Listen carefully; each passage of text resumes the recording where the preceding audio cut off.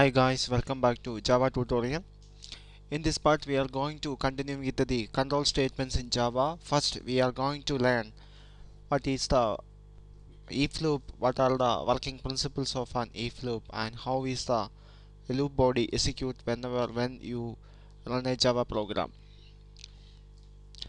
An if loop is one of the important loop statement in Java. It is used to execute a statement or a block of statement based on a particular condition. Here is the syntax of the if loop. Here if a bracket is open, a condition is given up. Here is the opening bracket.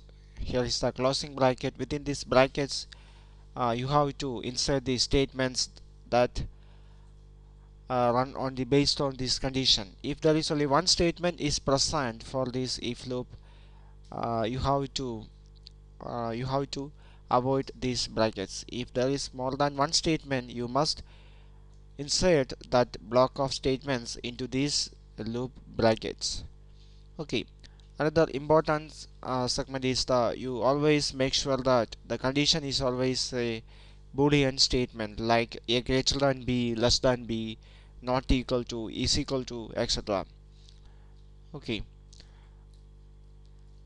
the loop body execute only when the condition is found to be a true one. During the execution of the program, the condition is checked for true or false. If the condition is found to be true, then the loop body executes. Otherwise, the loop body is avoided from execution. Here is a simple example that demonstrates the working of an if loop. Here you can see that there are two variables are declared here a and b. A has a value 10 b has value 5 and here I check whether a the value of a is greater than b.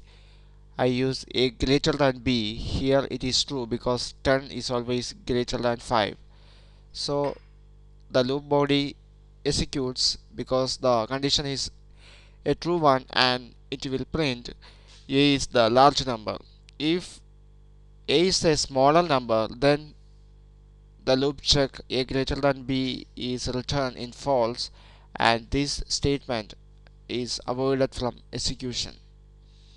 Okay guys. Thank you for watching. See you in the next part of this tutorial. In the next part i'm going to demonstrate the using of usage of if loop with a complete working example Thank you for watching. Please subscribe my channel.